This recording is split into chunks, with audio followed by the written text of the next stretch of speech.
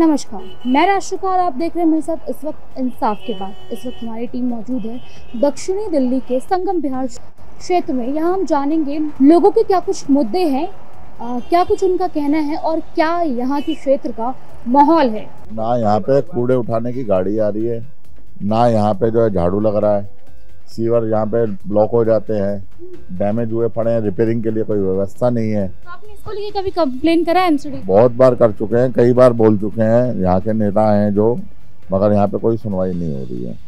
पक्षपात होता है अब जैसे मेन रोड पे आगे मेन रोड पे गली में हमारे गेट लगा दिया।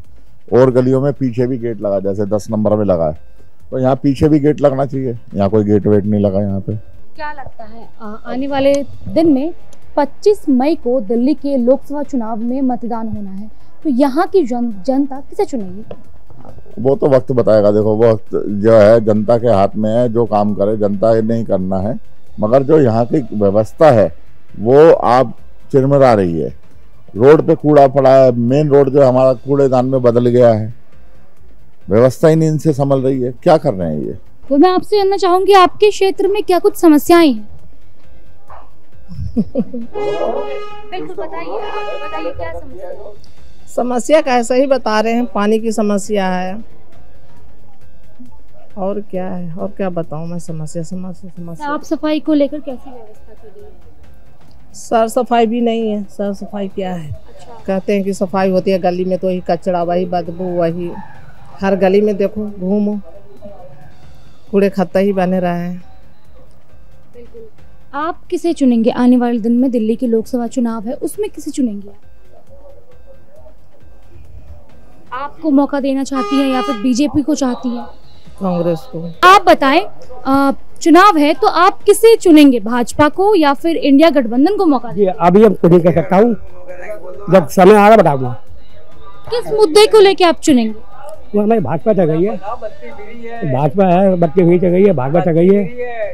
आप बताएँ। हाँ लेडीज़ क्यों सवारी फ्री है? प्लस लाइट की समस्या हल हो गई है चौबीस घंटे बत्ती मिल रही है प्लस तीन सौ यूनिट बत्ती फ्री मिल रही है। इस मुद्दे पे ज़्यादा वोटिंग होगी कि कम से कम कोई तो जनता के हित में काम कर रहा है। वरना तो आप यूपी वगैरह की आप बत्ती ले लीजिए इतनी महँगी यूनिट कर रखे हैं। और गड्ढों का तो हाल पता ही नहीं है आपको अगर आप कभी यूपी जाएँ तो गड्ढे देख लीजिएगा खाली। योगी बाबा तो कहते हैं वहाँ सब कुछ बहुत एक बार है। जाके तो देखिए कहने में क्या जा रहा है? योगी बाबा कहने से कुछ नहीं होता। आप एक बार जाके देखिए असली असली स्थिति जब आप वहाँ होंगे तब पता चलेगा क्या है। कहने के कहते हैं हमने स्विट्जरलैंड बना दिया।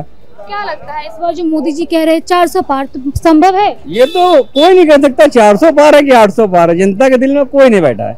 आप अपने क्षेत्र से किसे चुनेंगे? अभी ये तो काम करने के पर बात है। पब्लिक वोट लेने के लिए तो आ जाता है पब्लिक से लेकिन काम कुछ नहीं होता। क्या कुछ काम है आपके इलाका में? नहीं हुए। एक तो है ना गटर नहीं होता है बिल्कुल भी। ना ही कोई सफ़ाई है। आप देख रहे हो यार गली का हाल किस तरीके से हो रखा है। ना बाहर जाओ बाहर इतने गड्ढे हो रखे हैं, दुनिया भर के गड्ढे हो रखे हैं। कोई बोल रहे वोट लेने के हाथ जोड़ जोड़ के बोलते हैं आप वोट दीजिए काम करके दिखाएँगे काम करके दे काम तो करके दिखाते नहीं है जनता को। हाँ। दोबारा आके देखते ही नहीं कि गली में क्या हो रहा है क्या नहीं? फ़ोन कर करके दस फ़ोन करते हैं, तब जाके कूड़े की गाड़ी आती है। नहीं आती नहीं है। जी बताइए आपके क्षेत्र की बात करूँ तो माहौल क्या है? माहौल यही है गंदगी ज़्यादा रहती है कूड़े की गाड़ी नहीं आती पानी रात को आता है बहुत सारी समस्या हैं जो जिसका कोई मतलब समस्या नहीं हो रहा हाल लाइट का भी। आप बताएँ क्या कुछ समस्या है? समस्या गली गंदगी बहुत ज़्यादा है यहाँ पे। इस गली में गाय ज़्यादा होता है जो कि पूरा गली को खराब किया हुआ है। क्या लगता है आने वाले दिनों में लोकसभा का चुनाव है तो यहाँ की जनता किसे चुनेगी? यहाँ की जनता आपको वो जनता के ऊपर है अकेले हम अपने राय देने से कोई फ़ायदा नहीं है। सभी आदमी का जो होगा वो इसी हिसाब से होगा। गली में कूलर में पानी भर जाएगा अभी। जब बारिश होगी तभी भरेगा अभी। और कूलर में काला कोई ना आवे उठाने वाला ही। तो क्या फ़ायदा बोलते कंप्लेन किया इस चीज़ को लेके कि पानी हाँ हाँ हाँ। हैं? पानी पूरी गली में भरता है भाई। सबने कंप्लेंट किया कहीं कोई सुनता नहीं है जो जीत जाता है जब तो हारे हारे। अब पैर छुएँगे जब आएँगे वोट पड़ेंगे। उसके बाद बात खत्म। हाथ जोड़ के पहले पैर छूते हैं फिर कुछ नहीं करते। नहीं फिर कुछ नहीं। अच्छा अब चुनाव होने वाले हैं तो किसे चुनो? क्या मौका किसे मौका जो हम सही डाल देंगे बाकी डाल डाल क्या फ़ायदा। है? हम तो जाकर मर्ज़ी डाल देंगे जो कहेगा। पर कोई फ़ायदा तो हो बेटा हम तो गलत नहीं बोलते। ये देखो हमारा मकान नीचे पड़ गया सही मल में डल डल कर। ऐसा ना मैडम यहाँ पे जो है ना गंदगी बहुत ज़्यादा है नाला का पानी बहुत ज़्यादा बहता है और पूरा कूड़ा का रहता है यहाँ पे। नगर निगम वाले साफ़ सफ़ाई के लिए नहीं आते? सफ़ाई वाले कभी कभी बोलते हैं तो नकल लगाते हैं और कोई कोई कूड़ा का गाड़ी आता है तो पैसे भी मांगने लगता है। यही सब बात है क्या कहे? गंदगी बहुत है। कितने दिन आ जाता है कूड़ा की सफ़ाई वाले? हफ़्ते में जो है तीन चार बार आते हैं वो। रोज नहीं आ रहे हैं। बताइए क्या कुछ समस्या है आपके यहाँ? तो बहुत समस्या है। गंदगी देखो कितना हो रहा है यहाँ पे रोड पे। कभी साफ़ सफ़ाई होती है कभी नहीं होती। पानी भर जाता है घरों में भर जाता है। और क्या नाम कीचड़ देखो कितना है। कोई मक्खी मच्छर कोई साफ़ करने नहीं आता है। यहाँ पे दर्जन की बीमारी हो रही है। और क्या चाहिए? यहाँ पे साफ़ सफ़ाई है नहीं। कांग्रेस जीत जाती है। कांग्रेस जीत गई बीजेपी जीत गई। जो भी जीतता है वही वादे करके चला जाता है कोई। आपसे जानना चाहूँगी आपके क्षेत्र में क्या कुछ परेशानियाँ हैं? सब परेशानी परेशानी है देख रही हो तुम? ये देख लो कहाँ लहरा दर्जन पे। हैं? तो कभी नगर निगम वाले नहीं आते साफ़ सफ़ाई के लिए? कोई नहावे आम है कु- झाड़ू मारेंगे ना इकट्ठा कर जाए वो भरने ना में वो पूरे में फैल फैल के फिर दोबारा ऐसे है जाए। पूरी परेशानी परेशानी है बेटा यहाँ। कोई परे- वो ना है यहाँ अच्छा वोट मांगने तो सब आते होंगे हाँ वोट मांगने के नहीं है तो, तो, तो पाम पूजेंगे। हाथ जोड़े पैर पूजे। इस बार चुनाव में किसकी सरकार आएगी? चुनाव में हमारे लिए तो कोई भी है हमें तो काम से मतलब है। कौन काम करेगा जनता की अभी तक तो केजरीवाल कर रहा है काम। आगे वो करेंगे? आएँगे तो ज़रूर करेंगे। आने के लिए तो हाँ काम तो उसने करा है मगर उसको करने नहीं दिया जा रहा ना पहली बात तो। भाजपा एक तरफ़ 400 पार कह रही है। चार सौ पार कहने से सभी कहते हैं। अपना अपना दावा तो थोड़ी तो साबित करते हैं कि हमने करेंगे। वो तो कांग्रेस भी करेगी। केजरीवाल भी करेंगे ये भी करेंगे। तो कहने में थोड़ी है। कुछ करके तो दिखाए पहले। जो बताया आपके इलाका में क्या कुछ समस्याएँ हैं? समस्या हमारे यहाँ संगम बिहार में यही है कि नालियाँ बनी हुई हैं लेकिन पानी का निकास नहीं है और जगह जगह पानी भरा हुआ है उससे मच्छर हो रहे हैं और ये कूड़ा निकाल के जाते हैं ये उठाते नहीं टाइम से। तो कभी इसके लिए आपने शिकायत नहीं की शिकायत की है आते हैं लेकिन कभी उठाते हैं कभी नहीं उठाते। कोई भी सफ़ाई वगैरह नहीं है? कोई सफ़ाई नहीं। अच्छा नगर निगम वाले नहीं आते यहाँ? नहीं। कितने कितने दिन पड़ा रहता है? ऐसे कूड़ा कचरा सारा। अच्छा यहाँ की जनता दिल्ली की जनता किसी मौका देंगी? आपको? भाजपा। भाजपा क्यों? हाँ भाजपा क्यों?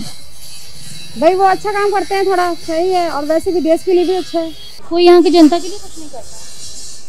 देख रहे हो जब ये झाड़ू वाले ने जीते ये साफ़ सफ़ाई के उन्हीं का रिक्स था ना। जहाँ देखो नालात में इतने कीड़े हम लोग के इधर हर रोज बीमार पड़ते रहते हैं। अभी भी दवाई लेके आ रहे हैं। खाली गंदगी के वजह से।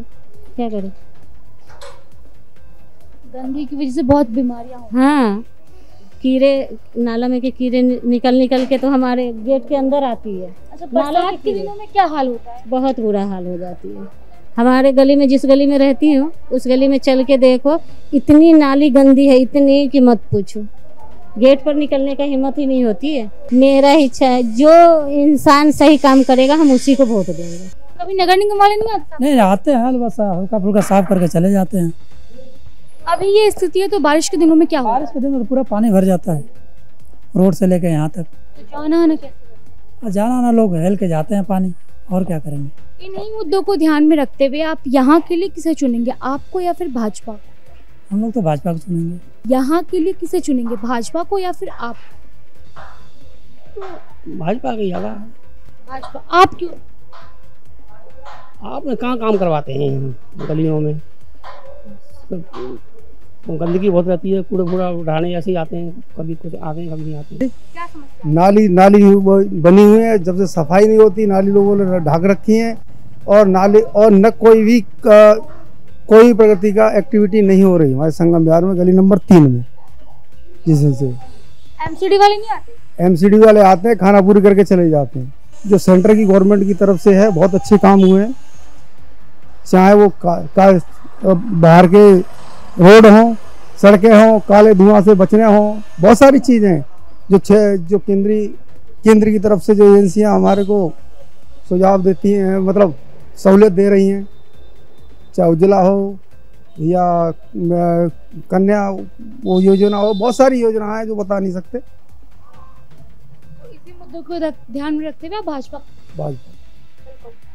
आपने देखा किस प्रकार दक्षिणी दिल्ली का संगम बिहार क्षेत्र जहाँ के स्थानीय लोगों के मुद्दे की अगर मैं बात करूँ तो खास करके यहाँ के लोग कूड़े के कचरे और सीवर के साफ़ ना होने की वजह से परेशान दिखाई दिए। हमने उनसे बातचीत करी, उन्होंने साफ़ तौर पर बताया किस प्रकार यहाँ एमसीडी की तरफ़ से खाना पूर्ति की जा रही है। यहाँ की जनता के लिए जो कार्य है, वो नहीं किया जा रहा है। मैं मैं आप कैमरा पर्सन को बोलूँगी, एक बार जूम करके दिखाने के लिए किस प्रकार मई के, किस प्रकार अप्रैल के महीने में ये हाल है तो महज बारिश के दिनों में यहाँ के लोगों का कहना है कि पूरा जल सैलाब जो है यहाँ पे उमड़ जाता है। लोगों को आने जाने में दिक्कत होती है और बहुत तरीके की जो परेशानियाँ हैं, बीमारियाँ हैं साफ़ सफ़ाई की वजह से तमाम वो चीज़ें हैं वो यहाँ की जनता को फेस करना पड़ता है। बाकी इस तरह की अपडेट्स के लिए आप हमारे साथ बने रहे। तब तक के लिए आप देखें मेरे साथ इंसाफ की बात। मैं राशिका कैमरा पर्सन जुबैर के साथ।